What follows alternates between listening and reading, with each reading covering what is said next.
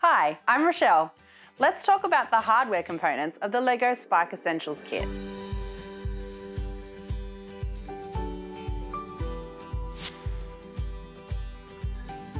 One of the first things you need to consider is how you're going to charge Spike Essential Hub.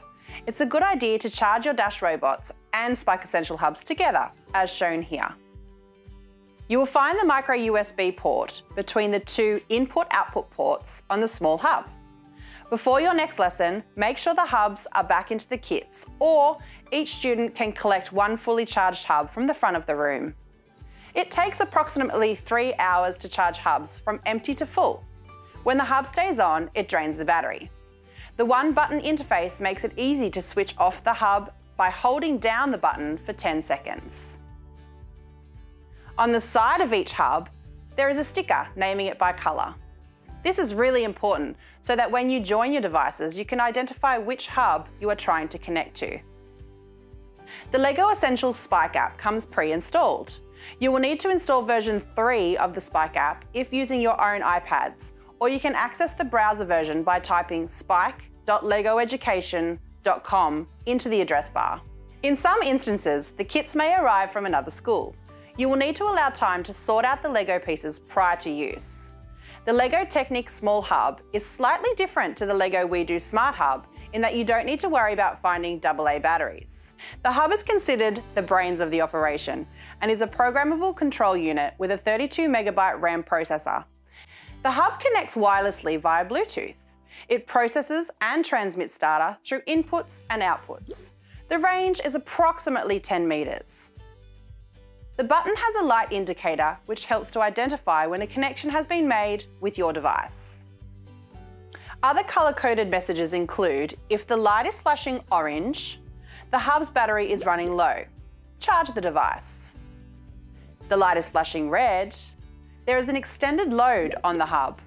Turn off the hub and let it cool down for 15 minutes. The light is blue. The hub is connected to your device using BLE, Bluetooth Low Energy. The light is white. The hub is connected to your device using a USB cable.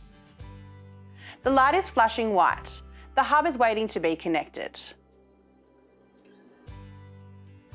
The light is flashing violet, green or blue. The hub operating system has been updated and it's restarting. The two input-output ports auto-detect when sensors and motors have been plugged in. The hub has a built-in gyro sensor, which detects turning motions and can input and output data. When taking off the lid of the tub, you should notice an element list sitting on top of the trays. You don't want to throw these away, so tuck it under the box. This is to help you sort pieces into the correct trays and identify any pieces that are missing from the kit. Underneath are two white colour-coded sorting trays. There are 449 different Lego pieces in each tub, so these sorting trays make things much easier to organise pieces. Each section has a coloured sticker. The storage bin is located under the white trays. Here you will find your hub among many other important elements. The colour sensor detects eight pre-programmed colours, matching the brick colours, and the intensity of reflected light. This sensor inputs data to the hub, allowing creations to react to their environment. Objects must be very close to the sensor, around 1 to 2 centimetres. This sensor can also be used as a light output. The colour light matrix is a programmable LED display. Input code into the hub processor to individually program 9 pixels. The colour matrix can output 10 different colours for you to create patterns, animations, and bring creations to life. Two small wheels and two large wheels can be fitted to the motor to build robots or vehicles and maneuver your Lego. Minifigures stimulate your imagination and help you to develop a narrative for real-world projects. White base plates are a blank canvas for models and make build times much quicker. Two compact angular motors with rotation sensors input data from the hub and output motion. The kit has two building systems, the Classic and the Technic. The only way to connect the two systems is using the bridge pin or the white connector pin. In the classroom setting, it's important to pre-prepare your parts before starting a build. Hot tip, use the plastic lid.